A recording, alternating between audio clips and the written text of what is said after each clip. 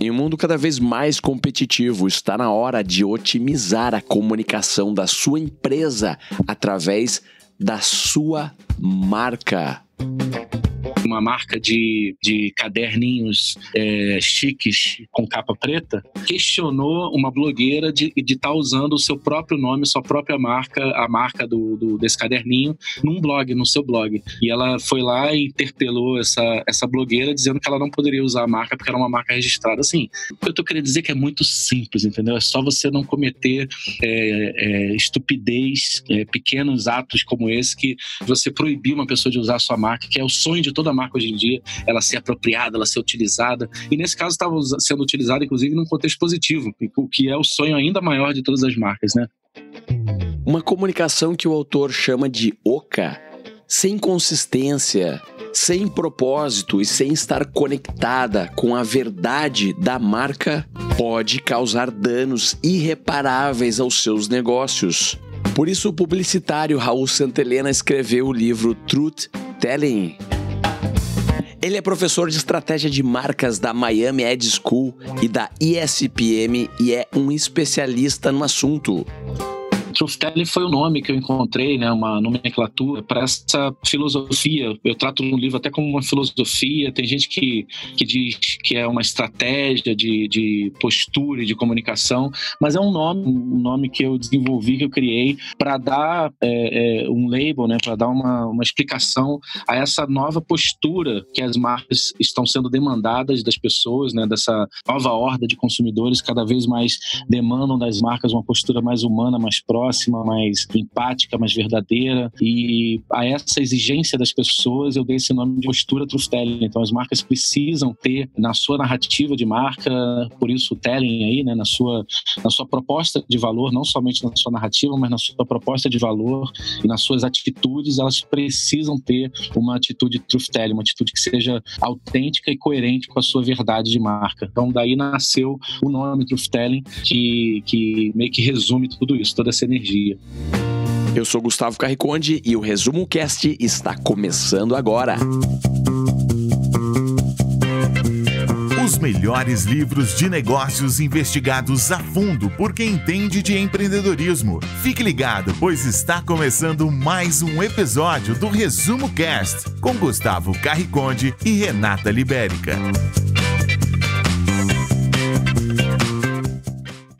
O livro Truth Telling foi publicado em 2018. O autor é o especialista em marketing e propaganda Raul Santa Helena. Seu objetivo nessa obra é mostrar caminhos para que as marcas consigam conquistar a empatia, admiração, respeito e confiança das pessoas, atuando de forma autêntica e verdadeira.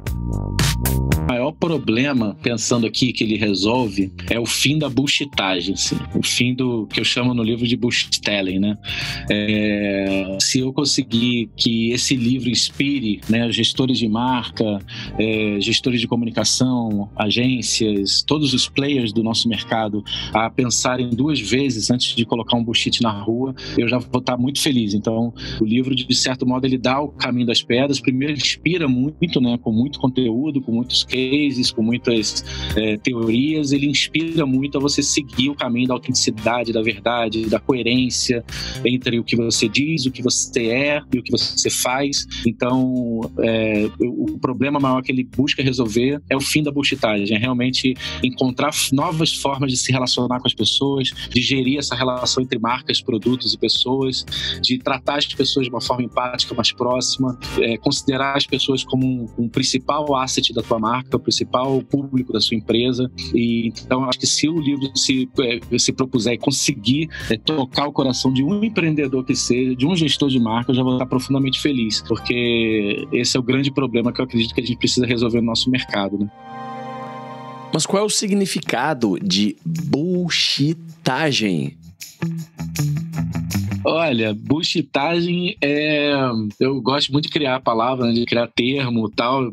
Muitos em inglês, eu tenho esse vício é, é, que eu não nego, que é hoje muito criticado, mas enfim, esse sou eu, com meus defeitos e meus, meus problemas. Mas bullshitagem é uma adaptação né, do bullshit para o português, do, do bullshit-telling para o português, mas que significa basicamente é, uma comunicação oca, uma comunicação, uma mensagem, né, uma forma de dialogar e de se apresentar para o mundo oca, vazia, cheia de subterfúgios, cheia de, de blá blá blá, de, de, de, de, coisas que as pessoas não estão mais tolerando, né? Eu costumo dizer que o Truth Radar, né, que o radar de captação e de, de identificação de bullshit das pessoas está cada vez mais apurado, está cada vez mais sensível, né? As pessoas têm desenvolvido esse radar hoje, por quê? Porque cada pessoa hoje é um veículo de mídia, cada pessoa hoje é uma voz e gere audiência proprietária, cada pessoa hoje sabe o valor de um like, cada pessoa hoje pensa em cada palavra dos seus posts, então cada pessoa hoje sabe o que é gerir uma comunicação. Têm discernimento cada vez maior para avaliar quando uma marca está dizendo a verdade, está sendo autêntica, e quando uma marca está é, enchendo a cabeça dela de blá blá blá, interrompendo a vida dela para entregar uma mensagem oca, vazia, é, superficial, que não é profunda, que não é verdadeira, íntima. Então, isso, as pessoas estão sem cada vez mais um discernimento de perceber esse tipo de atitude vazia, que é a buchitagem, que é a tradução que eu dou para essa atitude oca e vazia. Essas marcas que continuarem optando por buchitagem, elas só encontrarão carteiras igual vazias pelo caminho. As pessoas não vão mais optar de investir o seu dinheiro em marcas ocas, né? É, é, tá cada vez mais claro que as pessoas, especialmente as novas gerações, e claro que aqui no Brasil a gente está falando de classes também é, mais elevadas, enfim, é um processo ainda em curso, mas cada vez mais as pessoas vão pensar é, antes de investir o seu dinheiro, porque elas entendem que cada, cada centavo, né, cada real investido, cada dólar investido numa marca, num produto, num serviço, é um voto a favor é, daquelas crenças e valores que aquela marca representa. E, e, e se aquelas crenças e valores têm um acredito. Então, é, cada, cada compra é um voto a favor dessa, de, de, dessa crença desse valor das marcas, daquela marca, né? Então, é, é isso. O chitagem basicamente é isso. A verdade inspira, fideliza, envolve e, claro, vende mais. Lembre-se que o futuro será formado por marcas e produtos que já tenham comunicação e propósito nativamente embedados em seus modelos de negócio desde a sua concepção embrionária. Logo no, na, na, abertura do, do, livro, né, eu pensei que eu precisava é, é, mergulhar a fundo nesse conceito de verdade, nessa, nessa, nessa conceitualização do que é verdade ao longo da história da humanidade. Né? Então, convido o leitor a comigo uma grande viagem secular pelas muitas é, é, concepções da verdade ao longo da história da humanidade. Talvez esse seja um dos conceitos, né, um desses conceitos mais debatidos e indefiníveis da história. Não tem uma definição única e verdadeira né, do que é verdade. Então, eu vou desde, acho que, se não me engano, desde Aristóteles, né, ali 380 de Cristo, sei lá, que, que afirmou que a verdade é relativa, né, que a forma que cada pessoa enxerga o mundo é a sua verdade, é, seria verdade para ele, né, na, na, visão dele. Algo que o Nietzsche, dois mil anos, um pouco mais de dois mil anos depois, veio concordar com ele, dizendo uma frase que eu acho sintética e genial, que ele, o Nietzsche afirma que a verdade é um ponto de vista. A verdade ela é uma perspectiva né? Ela é relativa, ela é segundo o próprio ponto de vista de cada pessoa. Cada um tem a sua verdade, a sua visão de mundo. Então isso é muito desafiador as marcas considerar essas múltiplas perspectivas das pessoas, as múltiplas verdades das pessoas e, e encaixar a sua comunicação e a sua presença no mundo a cada uma dessas visões, né? E hoje em dia ainda tem a questão dos bolsões de opinião, das bolhas de opinião que é, contaminam, influenciam essa verdade de cada um. Então, enfim, isso daí daria um podcast inteiro só sobre esse assunto aí. E aí eu vou passeando Descartes, Rousseau, tem dois autores que eu gosto muito, Baudrillard e o, e o Debord, né, é, relativamente contemporâneos, embora sejam de lá da década de 30, mas eles têm uma, uma, uma mensagem que é muito contemporânea até hoje. O Baudrillard inspirou o Matrix, né? Inclusive eu tenho uma frase do Morpheus no, no livro que eu gosto muito. Então, e o Debord também com aquela coisa do que ele afirmou que a gente vive estaria começando a viver num mundo realmente invertido, onde o verdadeiro é um momento do falso, entendeu? Então é uma visão muito sofisticada sofisticada do que, que seria verdade, que não é tão simples de definir o deboche, que você, essa provocação de que, na verdade, o que é verdadeiro nesse mundo que a gente vive hoje, o mundo de ilusões, o mundo de, de, de camadas superficiais, o verdadeiro é só um momento do falso. Consumidores inteligentes. Quem nunca se sentiu frustrado com a empresa de telefonia ou de internet por causa de problemas com a qualidade do sinal? Ou com o banco por causa de uma cobrança indevida? Quem nunca se decepcionou com o atendimento daquele restaurante do qual esperava tanto? Ou ficou pé da vida com aquele hotel que tinha fotos tão bonitas no site, mas a realidade era totalmente diferente? Quem nunca se sentiu enganado ao comprar um produto que parecia bem mais eficiente na propaganda? Há uma onda de sentimentos aflorando por todos os lados, exigindo que as instituições deixem de lado blá blá blá e passem a jogar aberto, colocando as cartas na mesa. O fim definitivo da era da inocência no marketing já foi decretado. Não existe mais bobo. 76% das pessoas não acreditam no que as marcas falam na publicidade. São pessoas que, juntas, vêm se revoltando cada vez mais publicamente e com muito mais facilidade quando percebem qualquer tentativa de ser enganadas ou passadas para trás. O consumidor está mais consciente do que nunca dos seus direitos e poder de voz eu, eu acho realmente incrível esse poder do coletivo, mais do que a inteligência coletiva, mas a verdade coletiva, né? A verdade construída pelas mãos da maioria, pelas mãos da, da massa, das pessoas. Essa maioria que já foi é, silenciosa, né? Mas hoje tem um poder de voz nas mãos e esse poder de voz é usado para compartilhar a verdade, para desconstruir o discurso vazio e o discurso invernizado das corporações, das empresas e tal. E aí, um, um exemplo super legal do TripAdvisor. Na verdade, vários dos negócios que a gente admira hoje, né? O TripAdvisor é um deles, o Airbnb, o Uber, todos são negócios que são baseados na confiança mútua entre pessoas iguais, entre pares, né?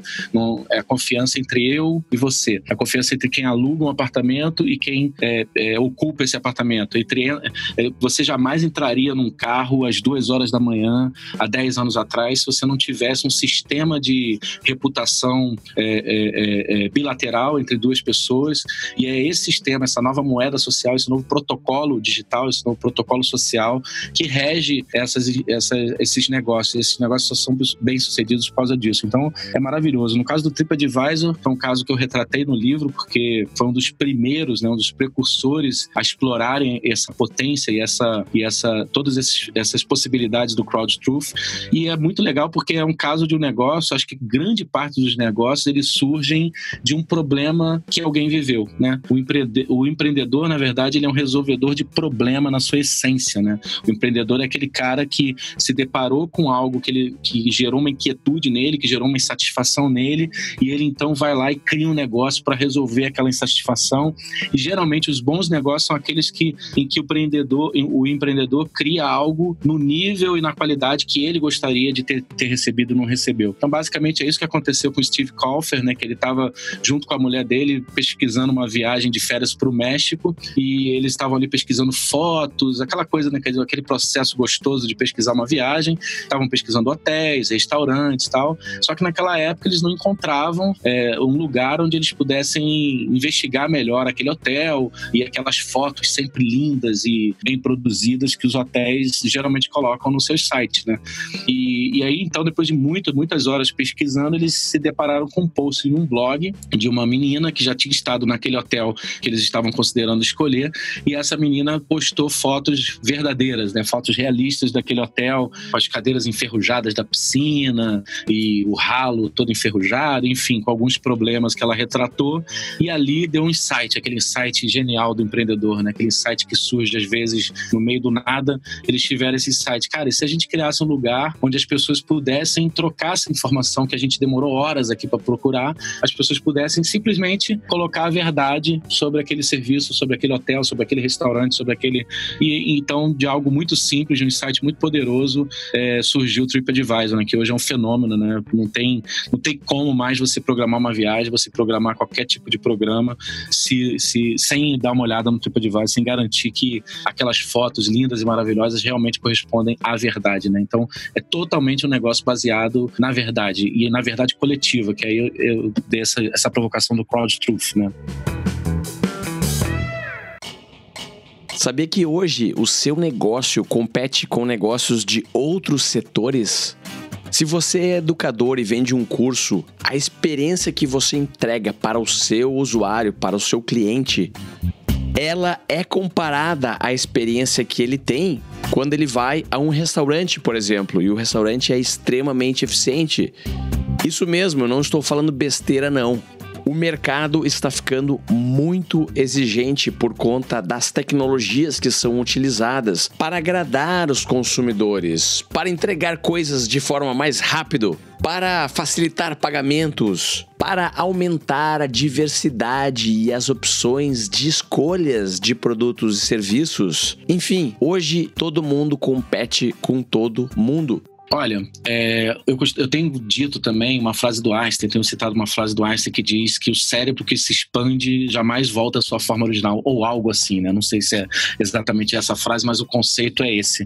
E isso é muito legal porque eu observo, como um comunicólogo que vem trabalhando no mercado há muitos anos, que é exatamente isso que vem ocorrendo, né? As pessoas que têm um comportamento hoje no digital, nas suas vidas, né?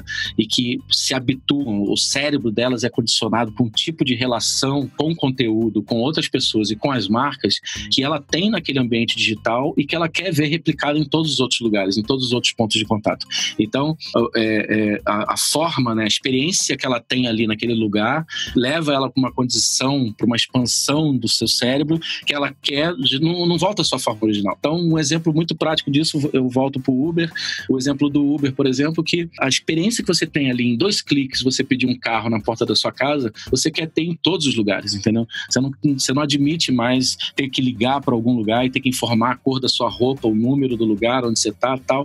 Então, geralmente isso influencia a sua experiência. Então, hoje um comunicólogo, ele tem que considerar isso, ele tem que partir desse pressuposto que você está falando com pessoas muito mais bem é, instruídas nesse processo de comunicação e que não toleram mais qualquer tipo de abordagem mais invernizada, mais é, cheia de subterfúgios, parecendo querer enganar as pessoas, né? Esse tipo de abordagem mensagem é vista como estão querendo me enganar. E isso tô, é importante dizer que eu não estou desmerecendo, estou é, não recomendando o uso de recursos lúdicos, de narrativas, de histórias. Não é isso que eu estou dizendo, né? É só que quando você usar esses recursos lúdicos, deixa claro que são recursos lúdicos e que você está usando a favor de uma história, de uma narrativa, que aí não vai ter problema, a pessoa, legal, estou aqui para ser entretido, você entretido. Agora, jamais use esses recursos lúdicos para construir é, uma proposta proposta de valor que você não vai entregar, que você não vai concretizar no fim do dia, que você não vai efetivamente é, é, fazer com que as pessoas tenham aquela, aquela experiência ou aquele produto que você prometeu, né?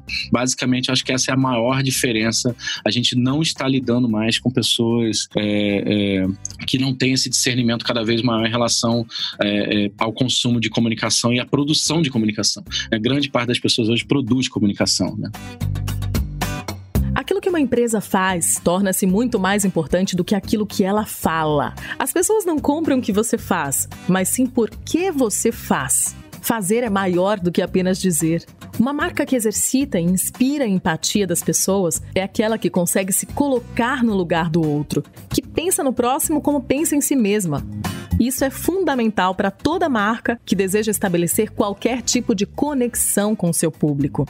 Cada vez mais, as pessoas só aceitarão se relacionar com marcas que não somente respeitam, marcas que assumem uma postura humana, autêntica, verdadeira.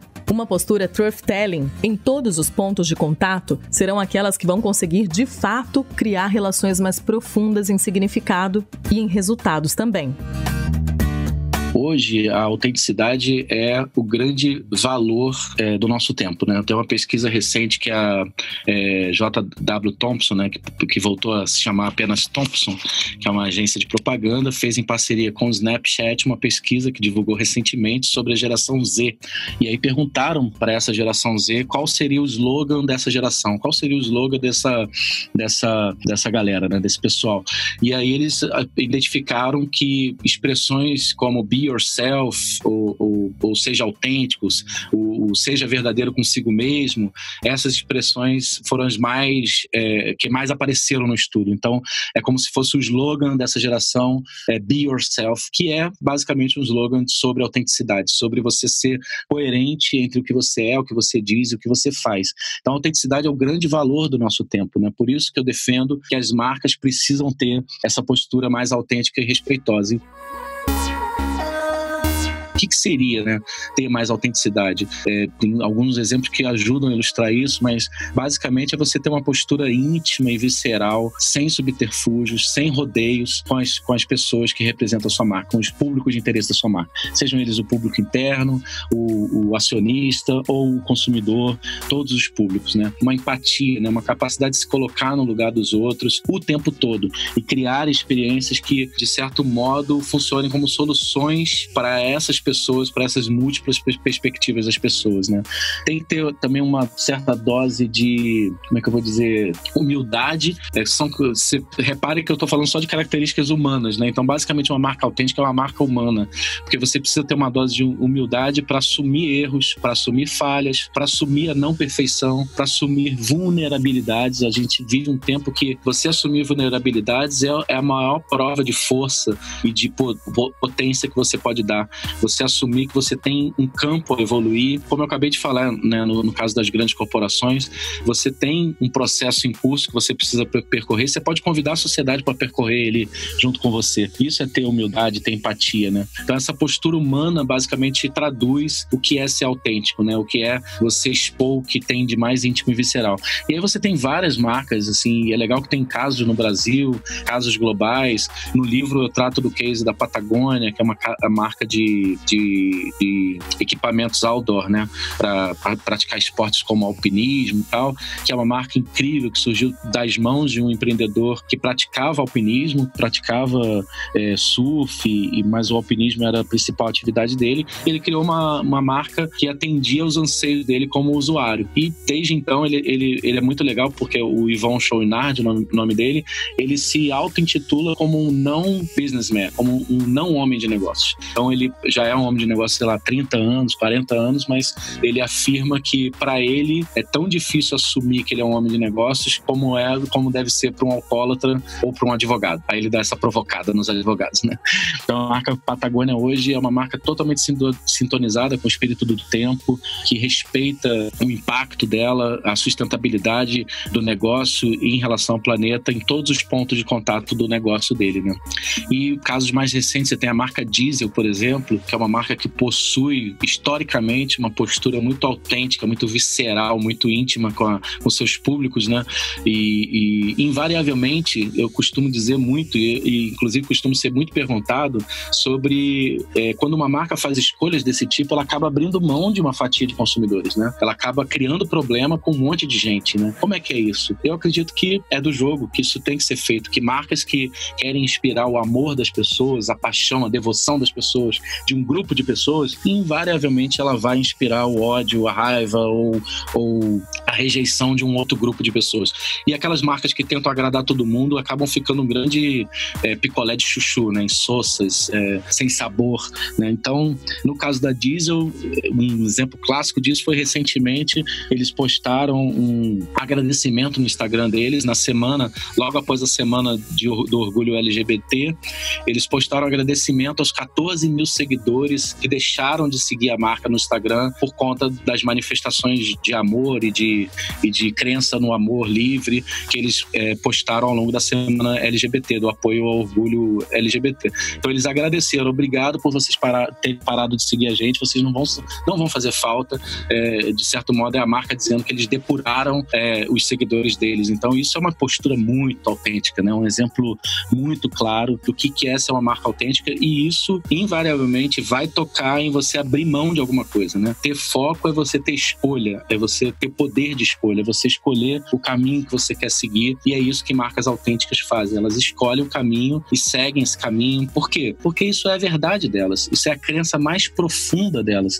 Elas não têm como abrir mão disso, entendeu? A marca que abre mão dessa crença mais profunda e verdadeira, ela está se prostituindo, ela está é, se vendendo e eu digo, né, eu costumo dizer no livro que o lucro a qualquer preço pode sair caro demais. Então essas marcas que buscam esse lucro desenfreado a qualquer preço, buscam apenas o valor para o acionista a qualquer preço, pode sair caro demais no fim do dia, porque você invariavelmente vai perder muita gente também pela, por essa rejeição. Então acho que esse caso da Diesel é emblemático nesse sentido. Né?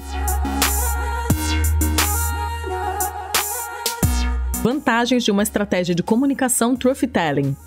Ao construir sua estratégia de negócio e de comunicação truth telling, você estará 1. Um, desenvolvendo sólida confiança junto aos empregados, fornecedores, consumidores e sociedade no geral. Como vimos, ninguém ama quem não confia. Se você não inspira confiança, não inspirará mais nada. 2. Investindo no principal ativo de sua empresa, a reputação corporativa, que compõe o conjunto de ativos intangíveis que hoje são responsáveis por 84% do valor de uma marca.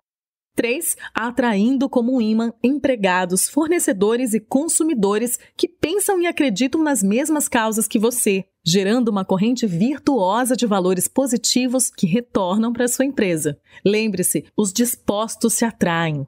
4. Inspirando outros empresários e empresas a atuarem como você, contribuindo ainda mais para um mundo melhor e mais digno. Lembre-se de que não herdamos o mundo dos nossos antepassados, e sim o tomamos emprestado por um momento dos nossos descendentes. 5. Sentindo no peito aquela paz plena que só aparece quando temos consciência de que estamos sendo verdadeiros com nossas crenças e valores mais profundos. E isso é o que honrará sua história e sua vinda para esse planeta. Você está escutando o melhor podcast de resumo de livros do Brasil. Se você ainda não baixou o aplicativo do Resumo Cast, visite resumocast.com.br barra aplicativo. O link está na descrição desse episódio. Ele é gratuito e lá você pode ter a melhor experiência com os nossos conteúdos. Vai lá então e baixa o nosso aplicativo. Isso nos ajuda muito com o nosso propósito, que é empoderar a humanidade com o conhecimento dos livros. Pois quanto mais downloads nós tivermos, melhor será o nosso ranking e mais pessoas serão impactadas por conteúdos como esse, que você já consome há mais de três anos, de forma 100% gratuita resumocast.com.br barra aplicativo.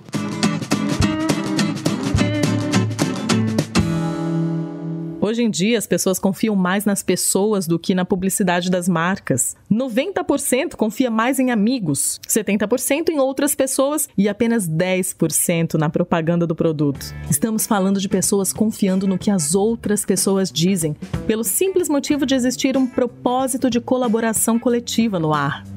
Isso as habilita de terem um maior discernimento para cobrar, exigir, criticar e demandar mais transparência, responsabilidade e franqueza na comunicação das marcas e instituições em geral.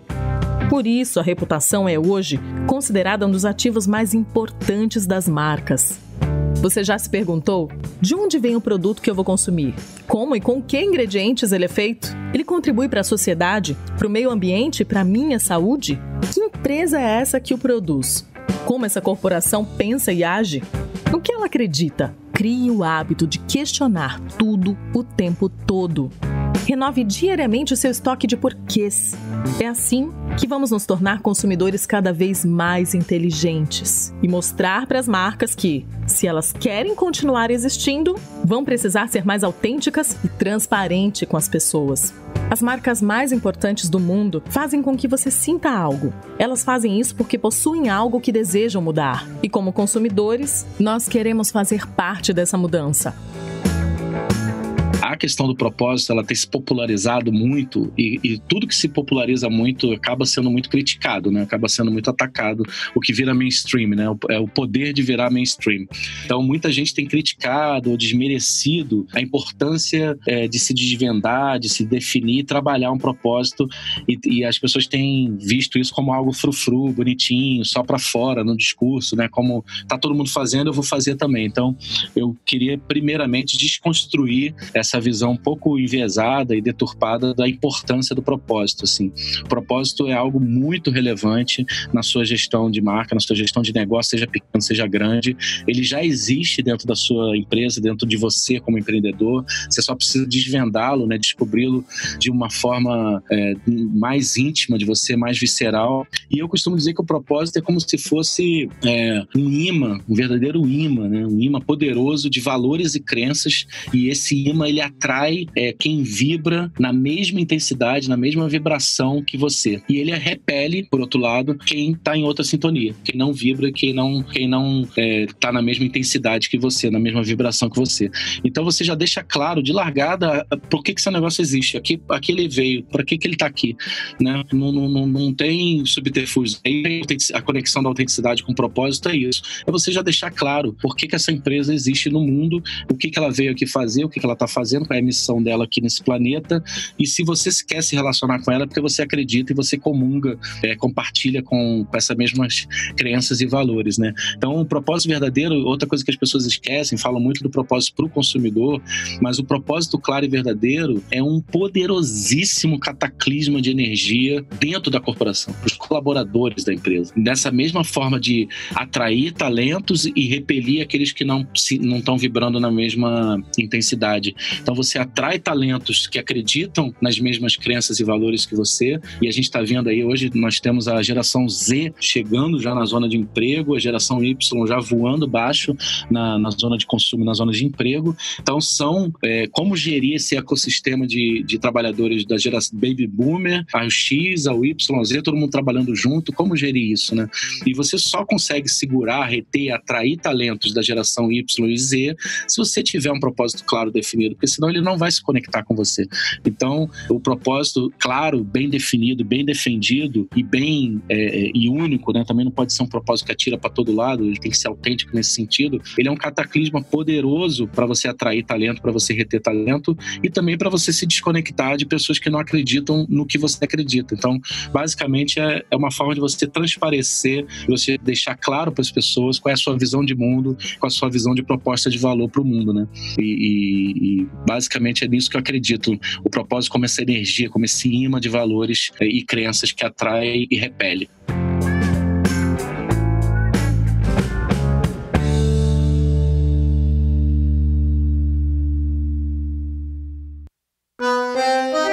Agora pense. Por que sua marca existe e qual a diferença que ela quer fazer na vida das pessoas? Tenha cuidado. A busca desenfreada por lucro a qualquer preço pode sair caro demais, tanto para a sociedade quanto para a própria sobrevivência da sua empresa. A longo prazo, esse modelo é insustentável. Procure não ter nada que necessite ser gravemente escondido das pessoas. Primeiro, por questões éticas. Em segundo lugar, porque hoje em dia é cada vez mais difícil manter algo em segredo. Se você não contar a verdade, alguém fará isso por você. Antes de divulgar uma mensagem da sua marca, seja um comercial de TV ou um post no Facebook, se questione: essa mensagem é verdadeira? Ela ajuda as pessoas de alguma forma?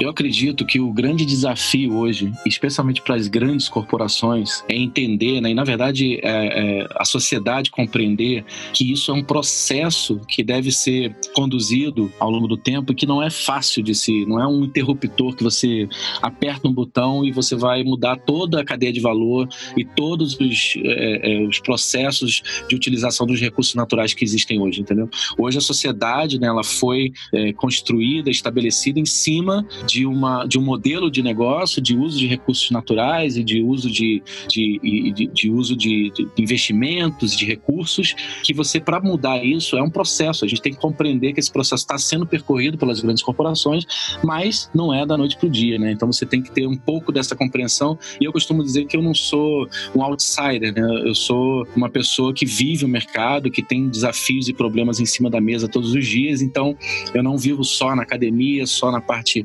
de, de autoria de livros, então eu vivencio muito desses dilemas que acontecem no dia a dia das grandes corporações, porque não é fácil, tá? É um, por serem grandes corporações e terem grandes sistemas atrelados, é um processo difícil. E aí o que acontece é que, às vezes, é, o encontro disso com essa nova sociedade que demanda das corporações uma postura mais humana, autêntica e verdadeira, não somente no discurso, mas na sua atitude, em cada atitude sua, geram as crises que acontecem, como aconteceu com o McDonald's no caso do Pink Slime, né? O, Pink Slime Gate, né? Pink Slime é, é lodo, lodo rosa, né? Em inglês, significa quando o, o Jamie Oliver é, veio a público, né? Aquele chefe inglês, ele veio a público e polemizou o, qual, qual seria a composição do nugget do McDonald's, né? E, e aí ele é, fez essa mistura que ele deu o nome de Pink Slime, que é lodo rosa, e seria da onde vi, viria o recheio do McDonald's, do, do Nuggets. E o McDonald's, o que, que ele fez? Ele aprendeu muito com esse fato, até onde eu sei, né? Até onde eu, eu pude pesquisar investigar, aprendeu com esse fato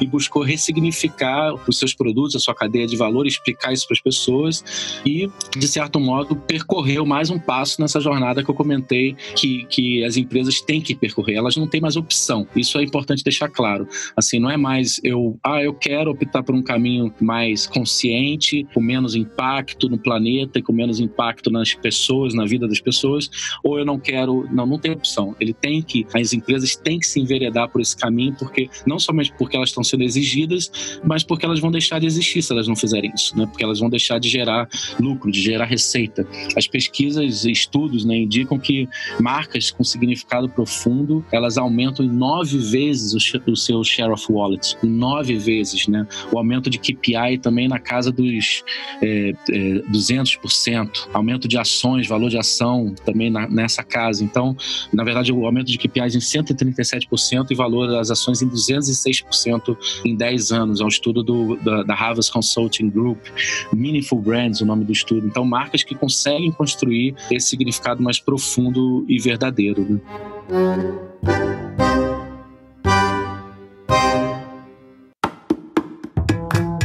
Agora vamos ver algumas dicas sobre como solucionar crises.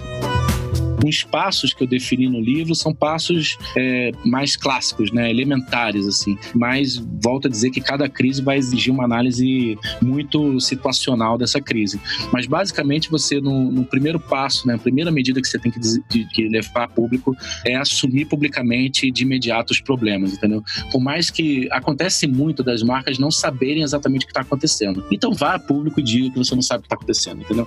Não, não passe. A gente tem visto recentemente nos casos casos, passar 10 horas, hoje em dia 5 horas já é uma eternidade, já é um ano, entendeu? Então não deixe passar muito tempo, vá a público, diga que você soube do que do, do ocorrido, que vai averiguar tudo, mas não me venha, por favor, com aqueles é, é, é, textos feitos de, de, de, assessoria de imprensa dizendo que está averiguando tal. Seja humano, vá a público, comunique imediatamente o, o início desse processo de mudança para corrigir o que aconteceu, sem subterfúgio, sem rodeios. Depois, quando você já toma, tomar mais ciência da situação, mais consciência do que aconteceu, volte a público, continue num sistema, abra um fluxo de diálogo com a sociedade, mostrando que você está preocupado com aquilo, que vai buscar resolver, que vai assumir as responsabilidades, mas não só diga, né? Mostre fatos verdadeiros de que você está é, é, buscando é, é, se, se, se, solidarizar com o que aconteceu. E um, um negócio muito legal que vale a pena frisar é resista à tentação de se vitimar, né? Se vitimizar, né? Não se vitimize em hipótese alguma, entendeu? Porque é, invariavelmente a empresa tem alguma responsabilidade, por mais que às vezes ela não seja a culpada daquilo, mas ela deve entender que ela tem algum tipo de participação de responsabilidade, né? E aí é isso, é estabelecer canais de diálogos com a sociedade mais abertos, mais diretos, um fluxo contínuo de informação, transparência, posicionar-se de uma forma firme, objetiva, com informações concretas, é, esse seria quase que uma fórmula inicial para qualquer tipo de crise. E daí você tem que analisar cada crise e, e volto a dizer, geralmente são é, é, é, se, se colocar de uma forma muito humana, muito simples e verdadeira, você vai conseguir superar qualquer crise. Né? São os americanos que têm um, um ditado que eles dizem: nunca desperdice uma boa crise. Porque é claro que você não vai optar por entrar numa crise, né? Mas elas ocorrem e ocorrem cada vez maior grau. É, quando ela ocorrer, aproveite esse momento, primeiro, para gerar um aprendizado incrível dentro da sua corporação, às vezes um aprendizado no mercado. Você pode também ter essa postura de compartilhar esse aprendizado com todo o mercado, mas acima de tudo, reforçar os elos e a comunhão que você nutre com a sociedade responsabilidade. Use essa crise como uma forma de evoluir no aprendizado, mas também de evoluir nos elos emocionais, porque eu, eu costumo dizer aquele caso do time de futebol que cai para a segunda divisão, né? Em vez da torcida, quer dizer, no primeiro momento tem aquele ódio, né? Aquela raiva de ter caído, mas depois a torcida vem junto com o time e se recuperar daquilo e voltar para a primeira divisão, os elos emocionais ali se reforçam de tal modo que isso é profundamente inspirador. Então, uma marca que se recupera divinamente muito melhor do que uma marca que nunca teve uma crise. Eu, eu arrisco dizer isso. Né? Como é que fazem os pequenos negócios ou as startups ou negócios que estão começando, já que eles não têm muito recursos e não podem contratar agências caríssimas de publicidade? Como pensar em uma boa estratégia de marca? Olha, geralmente é, é, justamente no começo do negócio, né, come, quando o empreendedor inicia essa sua jornada, é, é justamente nesse momento que ele está mais conectado com a sua própria essência, né, com a sua essência mais íntima e verdadeira. E, né, muitas vezes ele é o único empregado, né, muitos negócios começam com um empregado, com dois empregados, muitas vezes a esposa, o irmão, e é naquele momento é que ele, eu tenho certeza que esse empreendedor está conectado com a sua essência mais íntima e verdadeira. E esse empreendedor que surge hoje, né, que, que, que é pequeno hoje, e é importante dizer que, arrisco dizer, quase todas as empresas do mundo elas nasceram pequenas, né? elas surgiram muito pequenas. É o Rony lá na reserva que, que começou vendendo bermuda na mala do carro, é o Marcos Leta lá da Dubem que começou muito pequeno, pensando em como vender suco de laranja de uma forma sem conservantes. Então, os negócios começam muito pequenos. Né? O Chipotle começou com uma lojinha, que é essa rede de fast food americana é, é baseada no conceito da sustentabilidade também. Eles começaram com uma lojinha lojinha ali na região de São Francisco, perto da faculdade do, do criador dele, que era estudante de nutrição. Então, esses negócios começam muito pequenos e o que você tem que fazer é não permitir que você se desconecte dessa sua essência mais, mais íntima e verdadeira. E os negócios que surgem no nosso tempo, no espírito do nosso tempo, no nosso zeitgeist, a boa notícia é que esses negócios, em sua grande maioria, estão surgindo já com uma proposta de valor mais elevada, com um propósito mais elevado, porque eles estão bebendo desse nosso tempo, eles estão bebendo do molho cultural do nosso tempo. Então, são empreendedores que já chegam na zona de, de empreender, né, no momento de empreender, uma visão de mundo muito mais sofisticada, porque são aqueles mesmos é, consumidores que eu comentei que estão sendo é, doutrinados ou recebendo uma forma de discernimento do mundo e das relações humanas no mundo muito mais apuradas. Quando eles vão empreender, eles imprimem isso no negócio deles, né? Então, uma recomendação que eu posso dar é exatamente isso, de não deixar você se, se desconectar de forma alguma, né? E resumindo de uma forma muito simples, o que seria uma estratégia truth telling para um empreendedor, ainda que pequeno, né? É que ele tem que desvendar essa razão de existir, que, de novo, no começo ela geralmente ela tá por ali, dentro do peito dele, dentro do coração dele, tem que definir claramente quais são os elementos que compõem aquele negócio dele, aquela marca dele, por mais pequena que seja, né? Porque por mais pequena que seja, ele vai ter uma capacidade hoje de diálogo pelo digital, pelas redes sociais, de construção de marca, ainda que para um público muito pequeno, que precisa que você tenha esses elementos de marca muito bem definidos, entendeu? O significado profundo da marca, qual o propósito, qual é a personalidade dela, enfim, você definir esses elementos e depois todas as suas decisões de negócio e de comunicação, e aí é um post, é uma forma de falar com o fornecedor, uma forma de falar com o seu consumidor ali no balcão da loja, né? Todas as suas decisões têm que ser é, tá embebidas nesses elementos elementos de, de, de, autenticidade e de propósito, né? Você tem outro caso bom de citar também, que tem a ver com essa coisa de começar pequeno e estar tá evoluindo, é o caso que eu tô, tenho me apaixonado, me encantado bastante, é o caso da Ama Chocolates aqui do Brasil, um, um chocolate orgânico, não sei se vocês conhecem, foi fundado pelo Diego Badaró, que é a quarta geração de uma família que cultiva cacau na Bahia. Então, eles historicamente cultivam cacau e agora criaram essa marca chamada Ama, ou seja, é um negócio, como eu falei, falei que já nasce embebido de propósito, nasce embebido de, de, de autenticidade. Então é muito natural para eles que isso não se perca né, com o tempo, que eles não abram mão disso de forma alguma, como fez o Yvon Chouinard lá na Patagônia. E, e isso é encantador. Né? Você vê isso assistindo, os novos empreendedores chegando com essa energia nova é, na, na, no mercado. Vivemos em tempos exponenciais. Estamos em meio à maior transformação na sociedade desde a Revolução Industrial. Fazemos parte da geração que tem o privilégio e o desafio de testemunhar e sentir na pele essa nova revolução acontecendo bem diante dos nossos olhos. A revolução digital. Uma revolução que vem transformando todos os segmentos do mercado, reinventando modelos de negócios e fazendo com que grandes empresas sejam desafiadas a repensar a sua forma de agir e pensar. Hoje, cada indivíduo é um canal de comunicação. Se gravássemos toda a comunicação humana desde o início dos tempos até 2003, precisaríamos de aproximadamente 5 bilhões de gigabytes para armazená-la. Exatamente a mesma quantidade de dados que estamos criando a cada dois dias atualmente. O controle da produção de conteúdo está migrando para as mãos das pessoas de carne e osso como nós. Cada pessoa é uma empresa de mídia, fazendo a curadoria de conteúdo, produzindo, editando, distribuindo. Está tudo exposto e conectado. Não está mais nas mãos das megacorporações da mídia apenas. Expomos cada segundo de nossas vidas. O que comemos, o que fazemos, para onde viajamos, quem somos. Nada mais justo que as marcas tenham exatamente esta mesma atitude. Nos últimos 30 anos, tudo mudou com uma intensidade que não havia acontecido nos últimos 500 anos anteriores. Isso não deixa de ser assustador, mas também significa inúmeras oportunidades novas. Se por um lado essa revolução nos traz uma quantidade infinita de benefícios para tornar a nossa vida mais dinâmica, conectada, socializável, por outro, nos traz uma grande quantidade de desafios e dilemas com os quais temos que aprender a conviver e superar todos os dias. Avançamos de canoas a navios a vapor, a naves espaciais, mas ninguém sabe direito para onde estamos indo. Não vivemos apenas uma era de mudanças, vivemos uma mudança de era, onde uns veem o caos, outros veem oportunidades.